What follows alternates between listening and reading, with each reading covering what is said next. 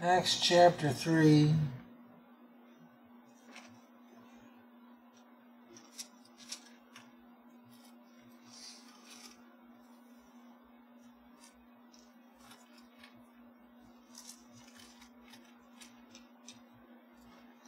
It's been taking up in the 13th verse. The God of Abraham and of Isaac and of Jacob, the God of our fathers, hath glorified his Son Jesus, whom ye delivered up, and denied him in the presence of Pilate, when he was determined to let him go. But ye denied the Holy One and the just, and desired a murderer to be granted unto you, and killed the Prince of Life, whom God hath raised from the dead, whereof we are witnesses and his name through faith in and his name through faith. In his name hath made this man strong whom you see and know. Yea the faith which is by him hath given him the perfect soundness in the presence of you all. And now brethren i wot that through ignorance ye did it as did also your rulers.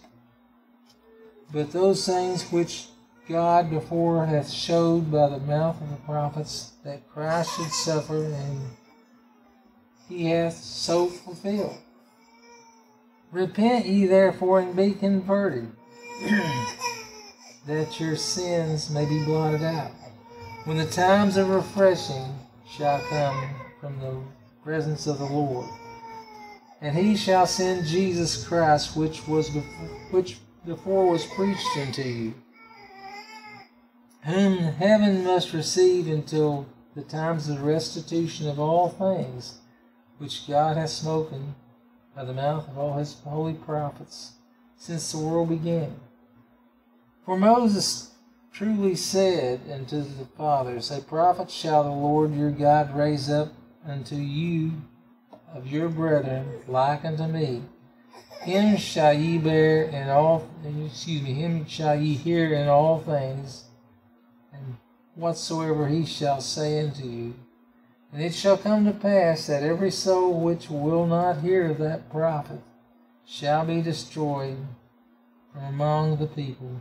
Yea, and all the prophets from Samuel and those that follow after, as many as have spoken, have likewise foretold of these things. Ye are the children of the prophets, and the covenant which God made with your fathers, saying in Abraham, and in thy seed shall all the hindrance of the earth be blessed. Unto you first, God, having raised up his Son Jesus, sent him to bless you, in turning away every one of you from his iniquities. Let us pray. We thank thee, our heavenly Father, for this great Savior, for thy Lamb that taketh away the sin of the world. We plead thy great salvation, thy great mercy endures forever, thy spirit's quickening and guiding. Open our eyes, our ears, our hearts. Help us to perceive the truths of thy word. Help us to understand them. Forgive us of our sins against thee. Guide us in our endeavors to serve thee and worship thee in spirit and in truth. We pray for our country that you would have mercy upon. We pray for peace in Israel. We pray thy kingdom come. Guide us now in morning service. Help us to see Christ. Help us to exalt the name of Christ above every name. For it's in his name, through the power of the Holy Spirit, we ask, and amen. As history has shown, the Jews have fallen victim to many a murderer since the time of this. Spain, Rome, Germany, butchered the Jews. But of course, we know they asked for his blood to be upon them. Over in the Gospel of Mark, the 15th chapter, the 6th verse. Mark chapter 15, verse 6. Now at the, that feast he released into one prisoner, whomsoever they desired. This was at the mock trial of Christ. And there was one named Barabbas, which lay bound with them that had made insurrection with him, who had committed murder in the insurrection. He was a murderer.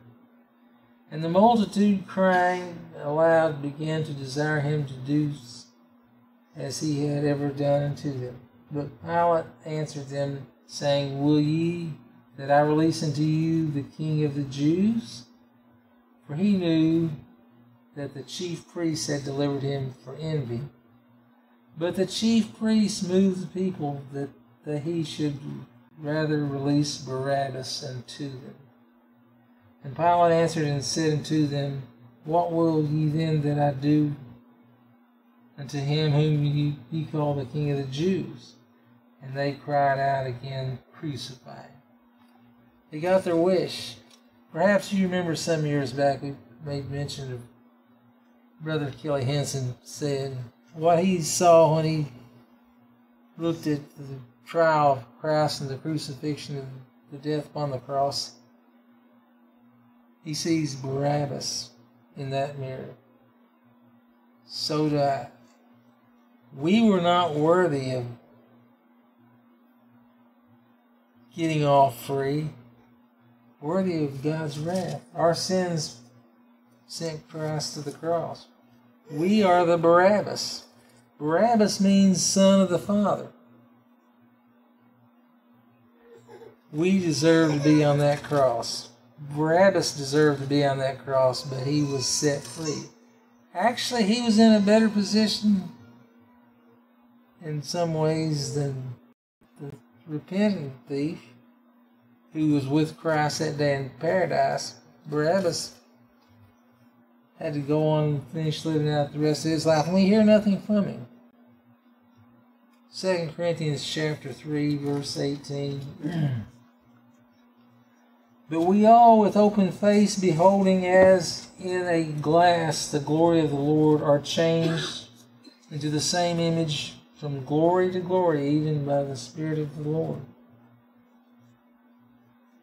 The world looks at people from the glamour standpoint, how good does this person look? We look pretty rough. We look like Barabbas, the sinner getting all free. We read in the book of James, this first chapter.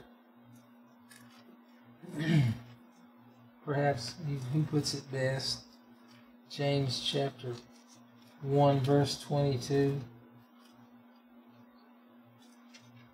Be ye doers of the word and not hearers only, deceiving yourselves, your own selves. For if any be a hearer of the word and not a doer, he is like unto a man beholding his natural face in a glass. For he behold that's a mirror. For he beholdeth himself and goeth his way, straightway forgetting what manner of man he was. That's the way we are. We see what we want to see. But whoso looketh into the perfect law of liberty and continueth therein, he being not a forgetful here, but a doer of the word, this man shall be blessed in his deeds. I guess are we doers or sayers? If we're honest with ourselves, this is kind of the way we are. We see Barabbas. Now, there's an old saying, scot free that's the way Barabbas got off scot free. Now, scot free was an old, it uh, comes from an actual event in Great Britain of old. Two men, one last name Hare and the other Burke, had committed a series of murders. They were killing people and taking their bodies and selling them. Burke was hanged for the, his involvement and Hare got off scot free. The word scot free was in that day and age when you had a pint of ale at the local bar, you had to pay the Scotch tax or the Scot tax they call it. If you didn't pay it, you got off scot free. We got off free indeed. The world loves its own. Barabbas was the typical worldling. theft, murder. The world loves its own. Whatever happened to the man, as I said, there's no no telling. And that's even fitting because many people get off free and get by with it. Many don't. There's biblical characters that we don't know their fate. Just like this man, Brother. We read about in the second book of Kings one man named Naaman. Great warrior. Now he was the enemy of Israel. But he brought about for the Syrian army a great victory against Israel. Why should he have been cheered? Because God was fighting against Israel also. Second Kings chapter 5, verse 18.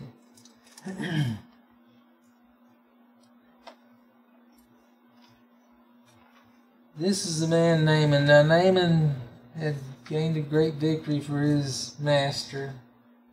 And in that victory he had stolen or kidnapped a little Jewish girl, brought her to his wife from a worker. But anyway, that little Jewish girl knew who the prophet of Israel was. It was Elisha. Verse 3 of 2 Kings chapter 5 And she said unto her mistress, Would God my Lord were with the prophet that is in Samaria, for he would recover him of his leprosy. He, Naaman was a leper. And one went in and told his Lord, saying, Thus and thus said the maid, that is the land of Israel. And long story short, this man was healed of his leprosy over this one little girl, one little Jewish girl that was kidnapped, taken out of her native home.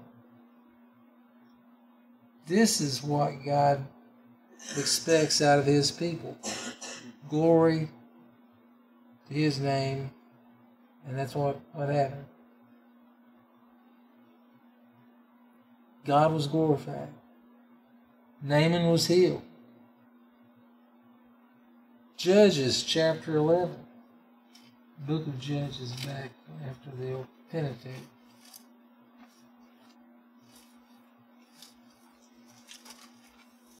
Judges chapter 11.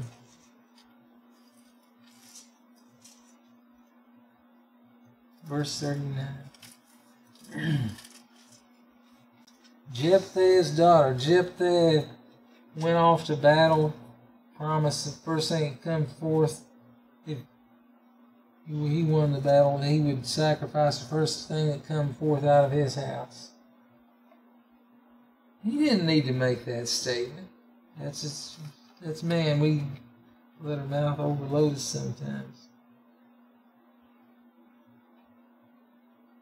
Jephthah vowed a vow unto the Lord and said, If thou shalt beget shall without fail deliver the children of Ammon into mine hands, then it shall be that whatsoever cometh forth of the doors of my house to meet me, when I return in peace from the children of Ammon, shall surely be the Lord's, and I will offer it up for a burnt offering. So Jephthah passed over the children of Ammon to fight against them, and the Lord delivered them into his hand. And he smote them from Aroer even till thou comest to the seas of Minnith, even twenty cities, and into the plain of the vineyards, with a very great slaughter.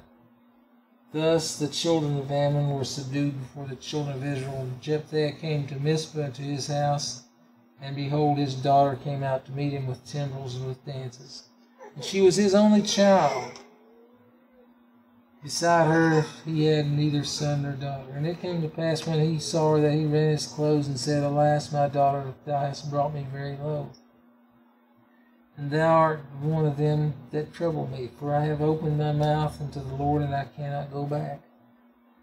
We're not told exactly how it happened. We're not told exactly what happened in Naaman. Naaman made that inquisition when I go to the house of my master's God, have mercy upon me. He was told to go in peace.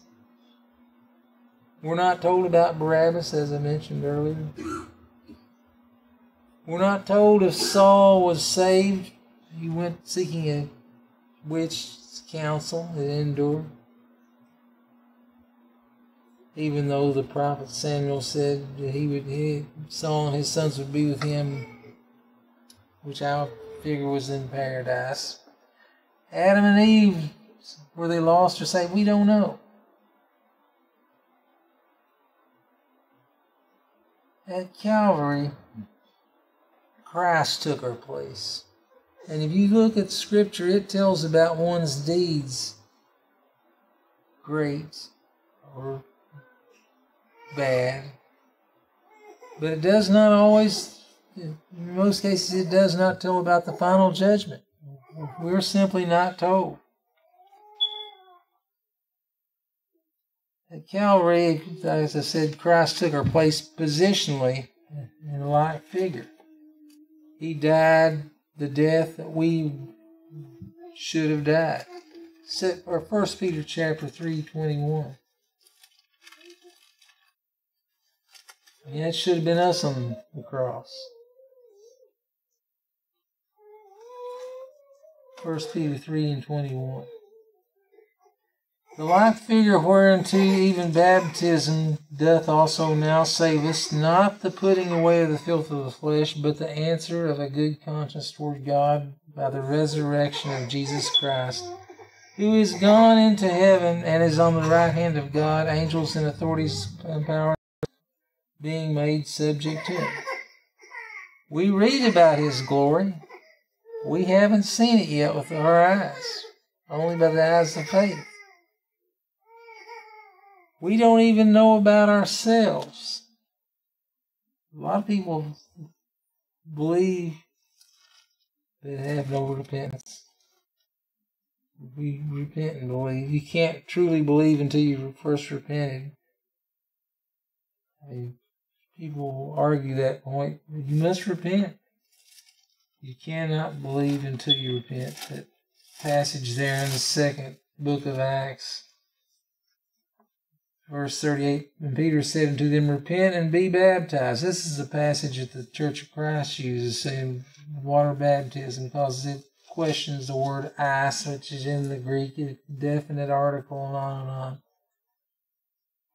If you repent first it all falls into place perfectly romans 8 and 16 the spirit itself beareth witness with our spirit that we are the children of god does that that's simple. Did not Christ in the body, both literally and physically, take the place of Barabbas? This is a great point about our redemption. His death was reckoned as mine. Christ was crucified between two thieves. One he was with paradise, within paradise, and the other went to torment. That's the only thing we can figure out. Luke's Gospel, the 23rd chapter, the 39th verse. And one of the malefactors which was hanged railed on him, saying, If thou be the Christ, save thyself and us. But the other answering him rebuked him, saying, Dost not thou fear God, seeing thou art in the same con- condemnation? And we indeed justly, for we receive the due reward of our deeds, but this man hath done nothing amiss. and he said unto Jesus, Lord, remember me when thou comest into thy kingdom. And Jesus said unto him, Verily I say unto thee, today shalt thou be with me in paradise. What was any different between him and the other one? Nothing but the fact that he changed his mind. He couldn't do anything else. he repented. He was against him earlier, but now something's changed.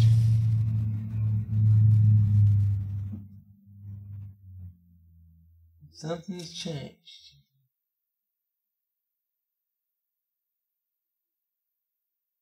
The law said release.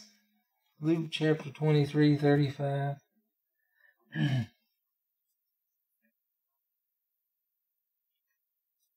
And the people stood beholding, and the rulers also with him derided him, saying, He saved others, let him save himself, if he be the Christ, the chosen of God. They didn't see that he couldn't save himself and save others, save others. All this seemed unjust. Well, it was unjust to Christ, but it's God's plan.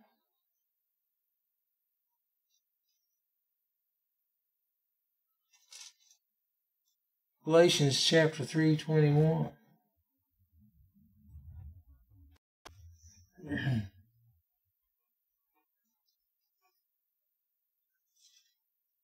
Is the law then against the promises of God? God forbid.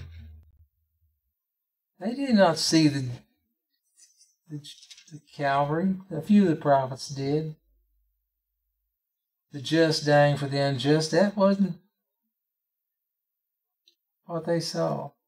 They they looked at the fact that they was taking a lamb that justified them. No, the lamb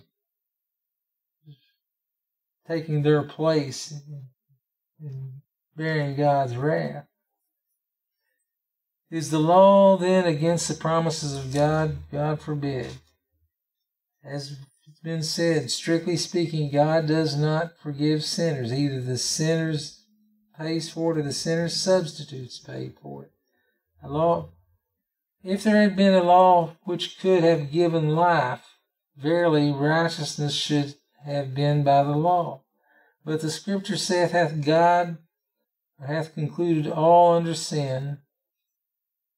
Scripture hath, hath concluded all under sin, that the promise of faith or by faith of Jesus Christ might be given to them that believe. But before faith came, we were kept under the law, shut up into the old faith which should afterwards be revealed. It is mentioned often that in the Exodus, the first thing that the children do are they're brought by the law. They're brought to Mount Sinai. We're brought to the law. This is God's demands. We don't keep them. Of course, God knew we wouldn't keep them. We're supposed to keep them. We're not given a free dismissal of them. The custom was unjust because Barabbas got away scot free. The innocent, the lamb, died in the place Ezekiel chapter 18, verse 4. The innocent lamb died in the sinner's place. Ezekiel 18 4. I read so many of these things that Old Testament connotations. The world will tell you just don't even worry about the Old Testament. Let me tell you something. There's more in the Old Testament about prophecy than in the New, perhaps. Ezekiel 18 and 4.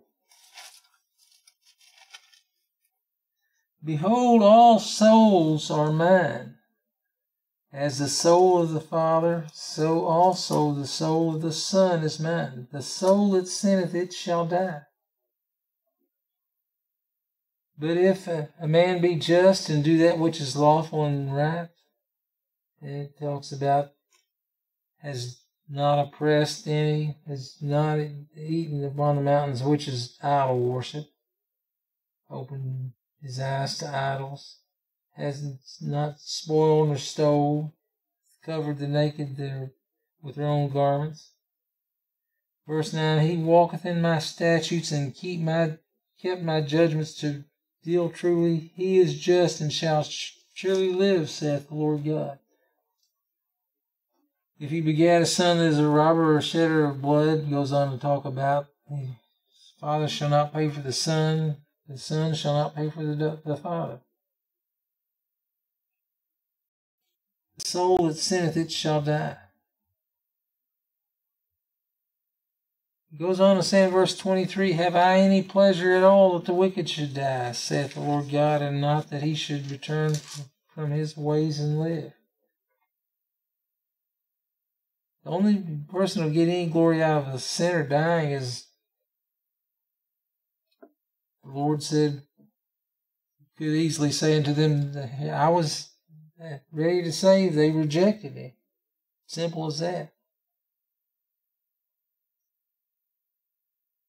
The soul that sinneth it shall die. The son shall not bear the iniquity of the father, neither shall the father bear the iniquity of the son. The righteousness of the righteous shall be upon him, and the wickedness of the wicked shall be upon him.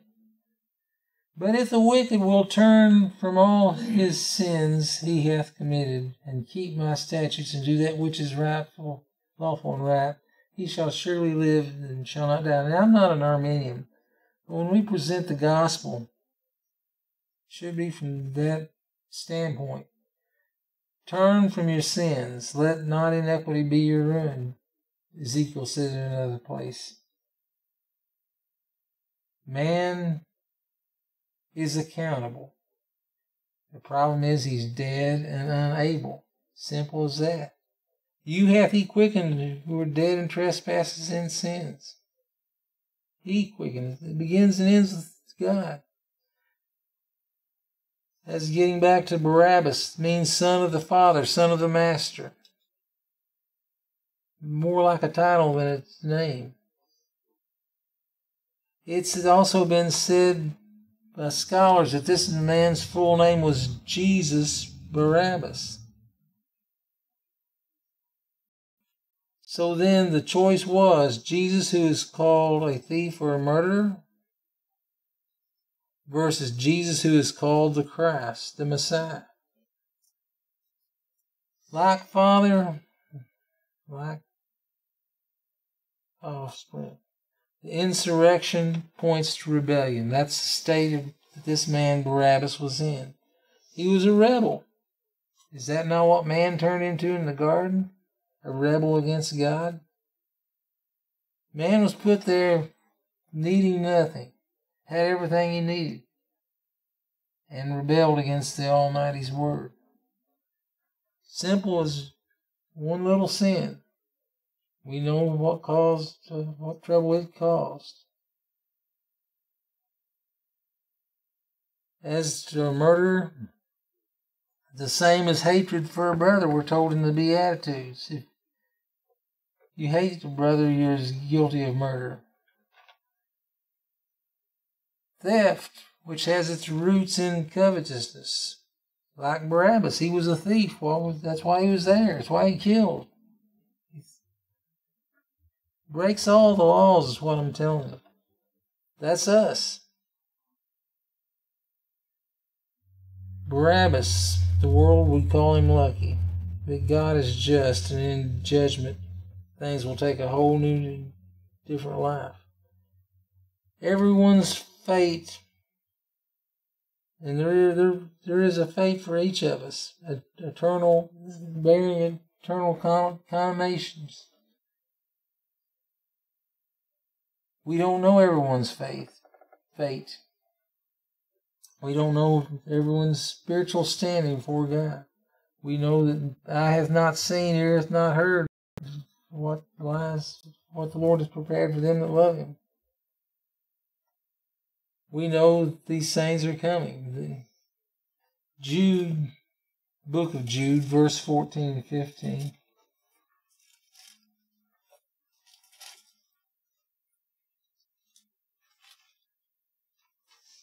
Enoch also, the seventh from Adam, prophesied of these, saying, Behold, the Lord cometh with ten thousands of his saints. And we know that there wouldn't have been ten thousand at the time of Enoch to execute judgment upon all, and to convince all that are ungodly among them of all their ungodly deeds which they have ungodly committed, and of all their hard speeches which the ungodly sinners have spoken against him. These are murmurers, complainers, walking after their own lusts, and their own mouth speaking great swelling words, having persons in, in admiration because of advantage. But, beloved, remember ye the words which were spoken by the apostles of our Lord Jesus Christ, how that they told you that there would be mockers in the last time who should walk after their own ungodly lust. That is ever true.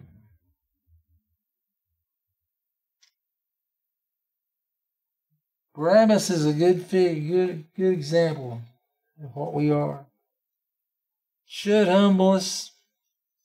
I mean, there in the book of Jude, the way it closes, as it keeps saying, salvation is all of the Lord, none of man.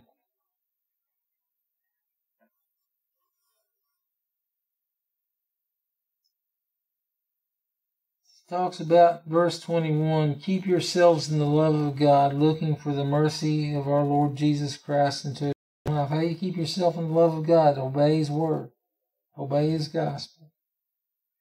And if some have compassion, making a difference, and others save with fear, pulling them out of the fire, hating even the garment is spotless, spotted by the flesh. You can look at this, it's like two different types of preachers. One tells you what you will receive in heaven, the good. One tells you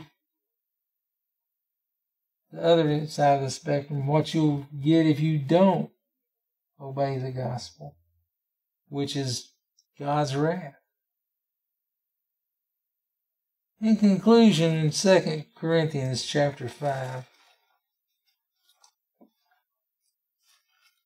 Second Corinthians chapter 5, verse 21.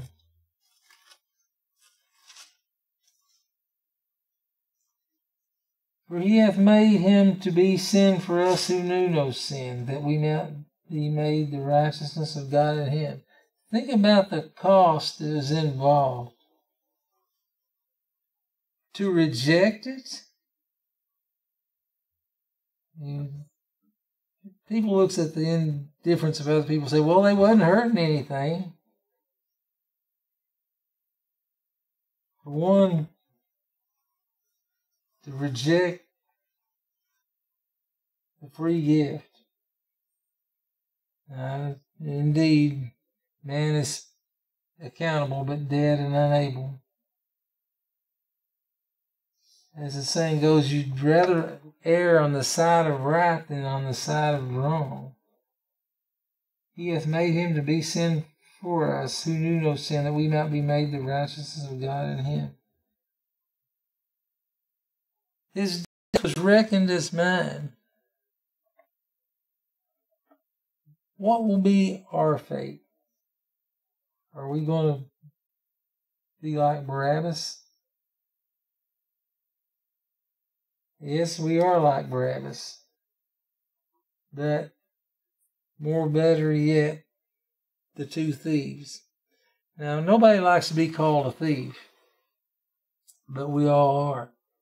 Do we tithe off the herbs of the field? We're supposed to.